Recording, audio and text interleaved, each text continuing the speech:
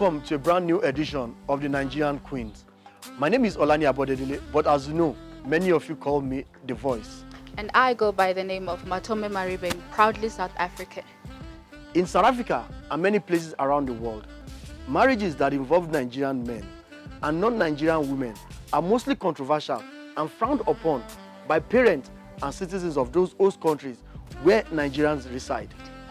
Some of the reasons for this is because of stereotype or wrong societal perceptions that an average Nigerian man is involved in illegal activities or wants to get married because of documentation. I feel that these assumptions are highly from being true. Well, as you can see, I'm always proudly Nigerian. I'm fully dressed in my Nigerian cashmere attire. So join me, let's take a drive in this latest Ford Mustang and let's visit some of the Nigerian queens that have been happily married to hardworking, honest and dedicated Nigerians over the past years. I can't wait to take a drive in this lovely car. To be honest, I am excited. This is one journey I would like to take and hear what my sisters have to say regarding the union of the Nigerian husbands. Well, today we'll be paying a visit to three families, the Ogongo family, the Orjis family and the Bajomos family. So why not join me? Let's take this ride.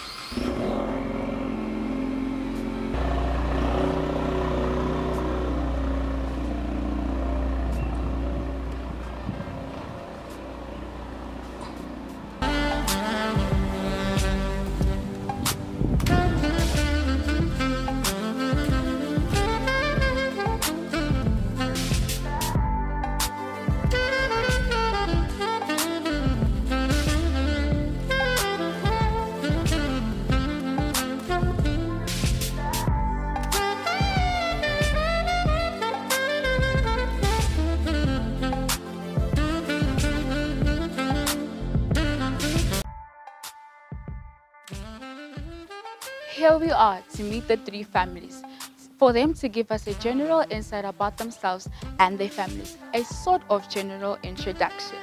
It will be interesting to hear how they met their husbands, what their first impression of them was, and at what point did they know they will be the right one for them, and to share with us their unforgettable memories with their husbands. So come along.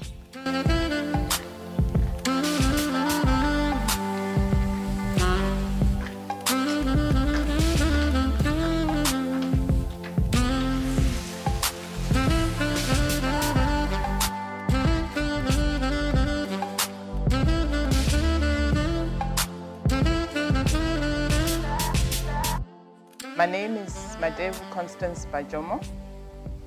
I'm a health facility planner.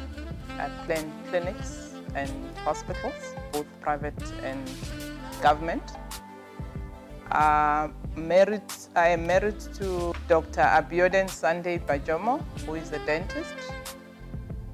I am originally from Limpopo. I was born in Johannesburg, actually, then moved to Limpopo but my family is from Venda, which is in Limpopo, from a town called Shayandima. I grew up there, schooled there, and started working there, and that's when I met my husband. I met my husband uh, 26 years or so back. I met him at a hospital where we were both working. He was working there as a, a dentist, and I was working there as a nurse. And the first impression that I got about him was he, he was friendly, he was good looking, and he was dressed well. So he had a very good dress code.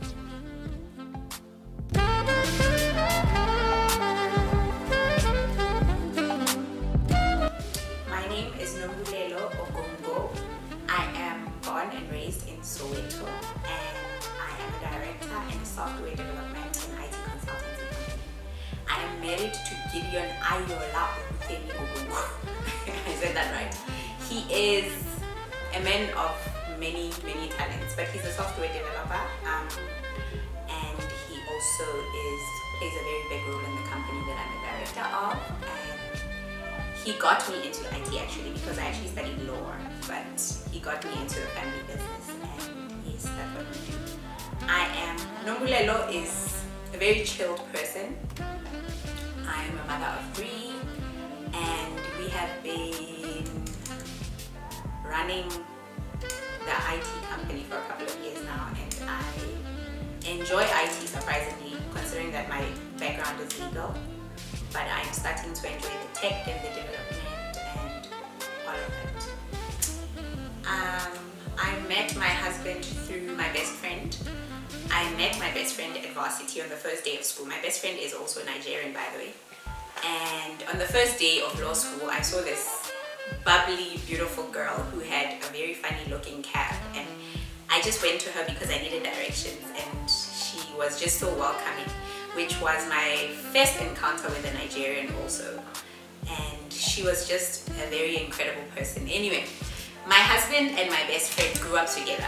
Their parents were pastors in the same church and they sort of grew up together.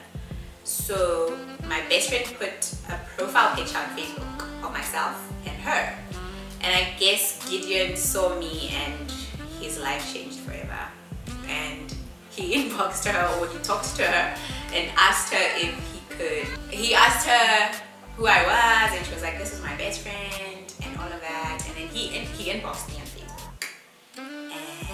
think the first thing he said was some whack pickup line. He was like, um, Fumi was my best friend before you came along. How do you plead guilty or not guilty? I think that, that's what he said the first time. But yes, um, so I think we spoke on Facebook for a while. I was still living in Rez at the time. I was studying a bit. I was still in Rez at the time and we spoke for a while. And surprisingly, the first time he saw me, he didn't ask me out. Did not ask me to be his. He's actually never asked me to be his girlfriend but here we are. Anyway, we, I think we met after a month, if I'm not lying, after talking. And then we've been together ever since, I guess.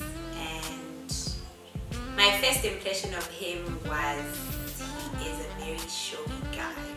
He is. When he, he, he first came to see me at Rez, he was holding an iPad. He was, and I was not impressed with that at all because I was like, ooh, this guy is so materialistic. But um, as time went on and I got to know him, I realized he was not that type of guy at all. He's actually not materialistic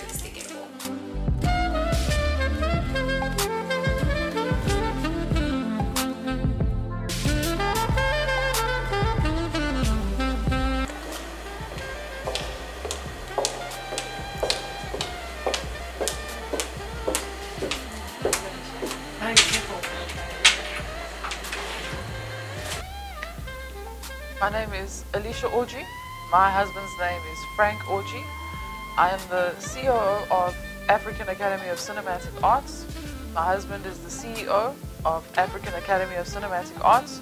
He is also a producer, a director, and a cinematographer. And I'm also a producer. Okay, so I am South African born. I grew up in Johannesburg. My mom is English, my dad is Afrikaans, so people often refer to me as an Afrikaans person. So some insights about myself. When I went to university, I met Nigerians for the first time. This was very, very exciting for me because all of a sudden my world made sense and the culture, the, the richness in, in the whole approach to life was what really um, actually changed my life because even business ethics, the, the acumen is on another level, the work ethic is on another level. And these were all things that attracted me to, to Nigeria as a whole. There are jokes that the Igbo culture and the Afrikaans culture are similar in that they both like money. Um, and ironically, that's also how we met. We met through work. So the way that I met my husband, I was actually busy working on a Sunday. We were working on a, a project for, for DSTV. And I had a deadline that I needed to finish really, really quickly. So I called a, a, a Nigerian guy that I knew at the time. His name is Theo. I said, Theo, we need to come to studio to record. And this is now Sunday at 4 o'clock in the afternoon. And he said, okay, that's fine. And then he called me back and he said, wait, do you have a producer? I said, I'm using the studio. Obviously, you got to bring a producer. So he said, that's fine. So when I arrived, this was when I met my husband for the first time. We were working. So my first impression of him was that he was a real charmer and a ladies' man. Um, but the reason I kept working with him is because his, he, the way that he worked and his, his level of expertise was just amazing, just amazing. And then he said to me that he wants to start dating, and I said, no, I don't want to date you. We either work together or we date, so you can decide. And he said, we have to do both. Until today, we're doing both. I knew Gideon was the one when he left for Nigeria after we'd been seeing each other for the well, not seeing each other as boyfriend and girlfriend, but seeing each other because when we met, like I said, he didn't ask me to be his girlfriend. So he'd been he'd been coming to see me um, in school, in, which was in Braamfontein, every single day from Midrand. So this guy went to work every day, and after work he comes to see me. And he doesn't come to see me to ask me to be his girlfriend, no. I was writing my exams at the time. He comes to school to give me McDonald's milkshake, to give me energy drink, play so I can study the whole night in the library. So he was there every single day. And in December, I remember it was December because I had gone back home from Rez for the holidays. He told me he was going to Nigeria. I think it was for three weeks or I don't remember, but for a month. And then it dawned on me when he wasn't around. I was like, oh my god, I actually miss this person. Um, I think that's when I realized that, okay, I think maybe I, you know, I, I really like him. Yes, it's been, he made himself a very important part of my life. And it wasn't even about the big things. I remember when he used to want to buy me airtime, I'd refuse. And I'd be like, no, I don't want your money um, but he made himself present and that for me was very important at the time and I think when he left I realized that no I I really miss this person and yes we've been together and kicking it ever since then and I don't think it was love at, at I don't think it was love at first sight because I, I looked at him as a friend after we've met and um, we've been friends, I realized that he was more matured and he knows exactly what he was looking for. So at that point, I knew that he was the one because he, he told me exactly what is it that he's looking out of this friendship and relationship. What is interesting about this is that when we met, he knew that I was the one, but I didn't know that he was the one. Shortly after we did the work together, I left Johannesburg and he was in Johannesburg. And I left for two years. This man waited for me for two years. He didn't have my number. He couldn't ask the people that he knew, that I also knew for my contacts because he didn't want them to know, because he knew that if they know that they contact, he knew that if they contact, if he wants to contact me, they're going to contact me. So he could never ask. And there he waited for two years. After those two years, guess who called him? It was me. Because I needed to get work done again. He proposed to me. He said that he loves me. I told him, you cannot love me because you don't know me. At this moment, I didn't know that he had been waiting for me for two years. In this moment, I didn't know that he knew that he was going to marry me. So he outrightly said, I love you. And I outrightly said, you are crazy because I do not know you. he said, that's fine. All you need to know is that I love you. Um, some months went by because I told him, no, we cannot work together and be together. We have to choose one. He said, okay, fine. Let's just work together. And when we were now working together, I got to know him. And day by day, day by day, I got to see the person that he is and I fell in love with him. And on the 24th of December, which year was that? This is now 2011. 2011, 24th of December. I called him and I said, please can I see you? Can we meet? And then we met and I told him, I agree, you are the one. And we got married seven months later. We now have got three children, Talita, Phoenix and Joy Orji. Oldest is seven, the youngest is two, and hopefully there will be more on the way. Three unforgettable memories I have with my husband would definitely have to be the birth of our three girls.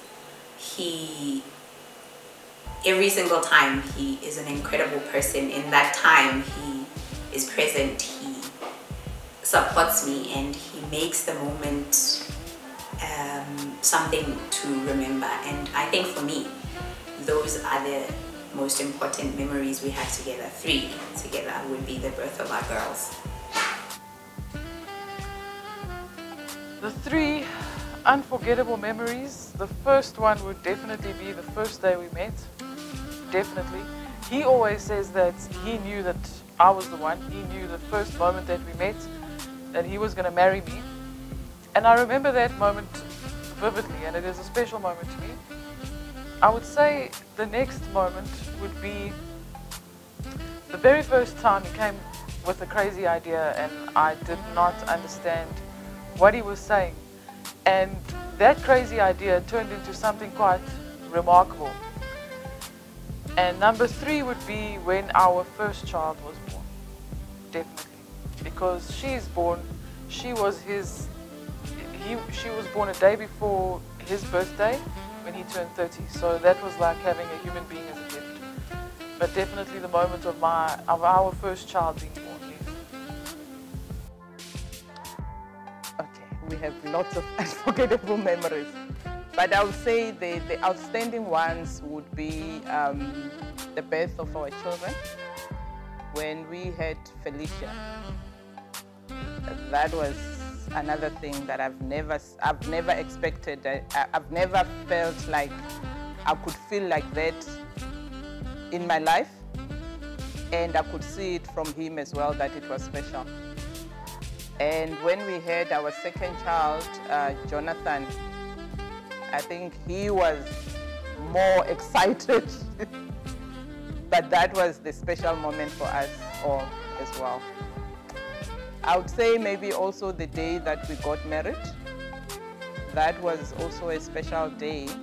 Although later after that we had lots and lots of um, unforgettable mom moments. Something that I noticed that stands out is that these couples run a family business, which is great. Nombulelo stated that she studied law but has been converted into IT by her husband. It was so nice to hear them share their unforgettable memories with their husbands. It will be quite interesting to hear from my sisters share the experience they went through when they told their parents that they wanted to marry Nigerians. I know a lot of Nigerians go through so much with their in-laws, but now have a great relationship with them. Speaking of in-laws, I wonder if those African movies we watch are true about how mothers in-laws treat their son's wife. Frankly, it would be nice to hear if they face any sort of stereotype or discrimination because they are married to foreign men.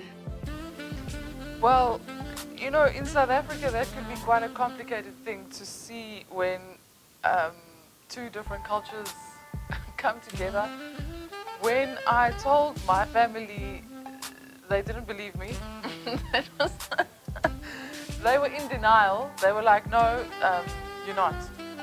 I said, I am. This is the person that I love. And in fact, before I announced that I'm marrying my husband, I insisted that he meets my family. The first time we met, my mother was at 2 o'clock in the morning on the 1st of January.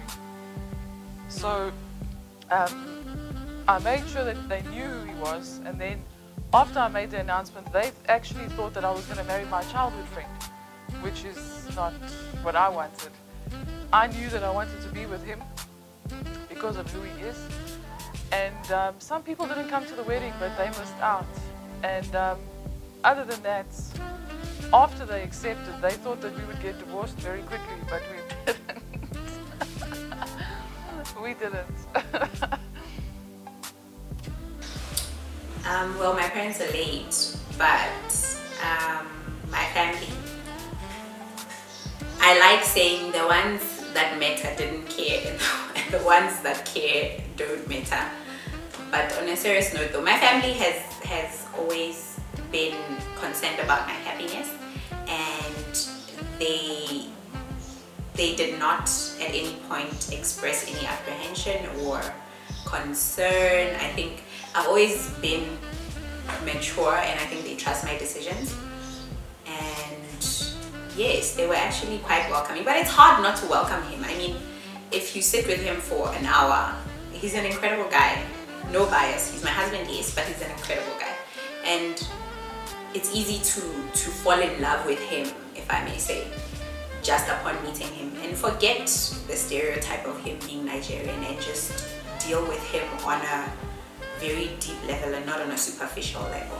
So my family was quite okay with it and they love him. I, I think sometimes I feel like they love him more than they love me, Okay, uh, before I told my, my, my family that um, he has asked me to marry him, I have introduced him as a friend before. And when he came as a friend, I think he made a very good impression to them. My dad especially, he completely loved him the first time he saw him. Because um, I think the first time he came, he saw my dad, he, he prostrated on the floor. And my dad was very impressed. he thought, no, this is a real African man. And I think he stole his heart at that moment. So when it was time for, for me to let them know that no, um, he had asked me to marry him, they, they, they were already very open to the relationship. The relationship between myself and my in-laws is, oh my God, I love my mother-in-law. I wish, this is the one time that I wish I wasn't married to a Nigerian man because then my mother-in-law would be in the same country as me. Um, I love her with my whole entire existence. Um, my mother-in-law prays for me more than I pray for myself. Um, sometimes I know uh, her prayers are what carry us through. She she's an incredible she's an incredible woman and every time I'm with her. She's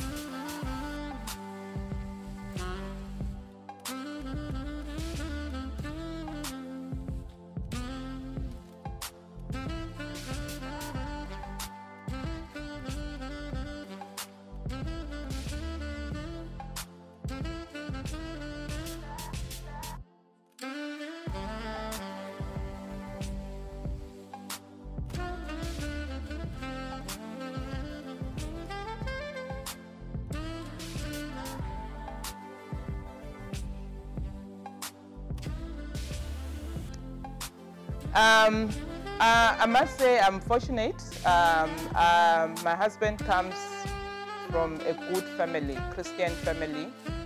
Um, they are not well-to-do, they are not a rich family, but they've got good hearts and I, I relate very well with them from the beginning. And um, I became a pillar of strength to them as well as I've assisted uh, a lot of my in my sisters-in-law's children, I kind of even raised them. Uh, some of them I brought them to South Africa and assist them to go to school, and they're yeah, we're just like one big family. I think I have a very good relationship with my in-laws. It's amazing.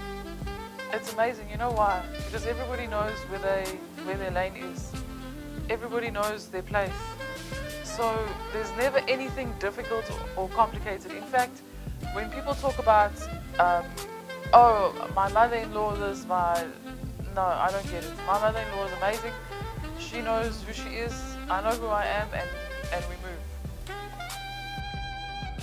Um, yes, all the time, but it was worse while the time that I got married because the time that we got married, I think I was, we were few. I was one of the people that first got married to the Nigerians at that time. I think my husband arrived um, in South Africa 94 and um, it was short like two years after that that we got married. And there were very few of his friends that were married at that time. That was like 25 years ago. So it was something that a lot of people still frown upon and you know you get a lot of stereotypes where people will be talking about you thinking that you're not hearing what they're saying I also have these features that people who don't know me, they automatically think that I'm also a foreigner, so they wouldn't know that I'm, I'm hearing what they're saying until I say something. but yeah, but I, I think it, I took it well and I never allowed it to offend me or anything. You know, people are allowed to think whatever they think, they're allowed to voice their opinion and if, if it's somebody that is important in our lives, then you can try and talk to them to re remove their misconceptions. But if it's somebody that doesn't mean anything to you, they can say what they want and that's it. Um, yes, yes. Um, white people, you know, when they see a white person, they automatically believe that that white person is racist, so then they would make racist jokes or comments. But then when they learn that you're married to a Nigerian, you know, as some of the people in my, some of my friends actually said, Alicia, you, you married a black guy, but you didn't just marry a black guy, you decided to marry a Nigerian guy, the original, the original people of Africa. So it, was, very, very interesting nowadays when when we walk around, we, we, we see people look at us, but after years of marriage, it's, it's no longer interesting to us. So you get the looks, you get the moments of disbelief, you get people staring at you, but after a while, I mean, it just becomes a lifestyle. Other than that, no, not really. Yes, I have. I think any woman that is married to a Nigerian man South Africa and says they haven't faced any discrimination or stereotype would be lying or they live in a bubble. It's it comes with the territory, honestly. It's the nature of the beast. Um, we know the current setup in our country, and we know the events of the past where Nigerians are concerned and the conflict between South Africans and Nigerians. So yes, I have, we have as a couple experienced the stereotype. I mean, it's it's everywhere at the store, and I don't know what it is about the way I look, but South Africans meet me and my husband and just assume I'm Nigerian. Um, we've had instances where cashiers are gossiping about us and saying something about Nigerians, and I'm standing there and I'm like, but I'm here. Why are you gossiping about me? But yeah, it's it's it's never been anything too harmful. It's I take it in my stride, I guess, and we take it in our stride, and it's it's something we've gotten used to. It's not everyone, I'll have to say. It's a very small minority of people that actually have that type of mindset. But it's there, it exists, and it's something you learn to live with, or if I may say. But it's, it's it's, it, it, doesn't move me too much. I mean, I have some family members, distant family members, not close, the ones that I said don't matter, uh, who will make a comment or two about Nigerians or whatever it is. Um, but it really doesn't matter to me because I'm married to my man. He's a man before he's Nigerian, and for me, that's that's all that matters. I deal with him on that. Sometimes I even forget that he's Nigerian, except when I'm sleeping and I dream and I wake up and he says you were talking in your sleep, and I'm like, what did I say? He can't tell me because I don't dream in English, but I think those little moments when I'm reminded that oh yeah, you're you're married to a Nigerian man. But I mean, it's it's all good. It's all good. We, I think we've we've gone through it so much that it's it's not it's not really a big factor.